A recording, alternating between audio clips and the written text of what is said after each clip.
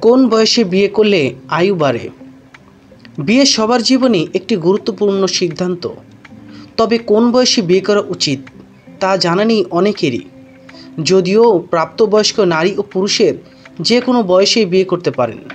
তবে বিশেষজ্ঞদের মতে, দাম্পত্য জীবন দীর্ঘস্থায়ী করতে নারীদের পঁচিশ ও পুরুষের তিরিশ বছরের মধ্যেই বিয়ে করে নেওয়া অত্যন্ত জরুরি।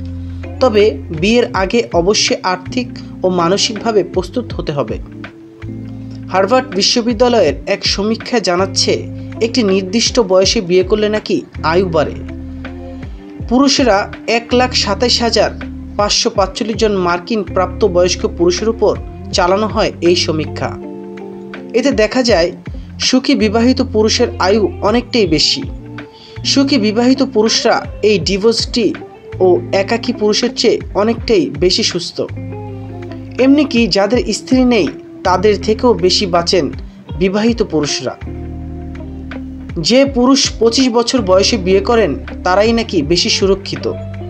অন্যদিকে যারা এর চেয়েও কম বয়সে বিয়ে করেন, তাদের নিরাপত্তা নিয়েও ভাবতে হয়।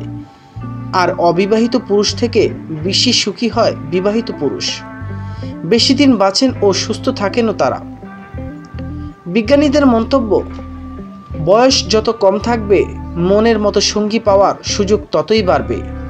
তাই নারীদের মতো পুরুষদের ক্ষেত্রেও পঁচিশের মধ্যে বিয়ে করলে মন মানসিকতা ও মন মানাই সঙ্গী পাওয়ার সুযোগ মিলে বেশি। সমীক্ষা তথ্য আরও জানাচ্ছে, যেসব পুরুষের শারীরিক সমস্যা আছে, তারাও যদি এই বয়সের মধ্যে বিয়ে করেন, তাহলে তাদের বিবাহ বিচ্ছেদের ঝুঁকিও কম থাকে। বিয়ে করলে কি তাহলে সুস্থ থাকা যায়? জাপানের বিজ্ঞানীরা জানিয়েছেন, বিবাহিত পুরুষদের চেয়ে অবিবাহিত পুরুষদের হৃদরোগের ঝুঁকি তিন গুণ বেশি থাকে।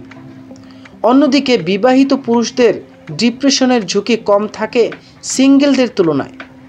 এমনি কি বিবাহিত জীবন সুখী হলে রক্তের শর্করার পরিমাণ ঠিক থাকে ও রক্তচাপজনিত সমস্যাও নিয়ন্ত্রণ থাকে?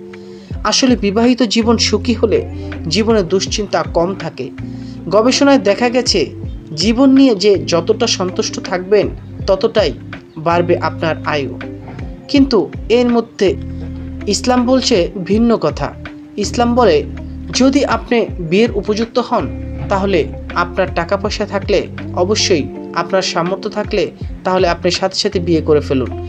তাহলে আপনি পর নারী থেকে বেঁচে থাকতে পারবেন। আর যদি সামর্থ্য না থাকে, তাহলে অবশ্যই বেশি বেশি রোজা পালন করুন।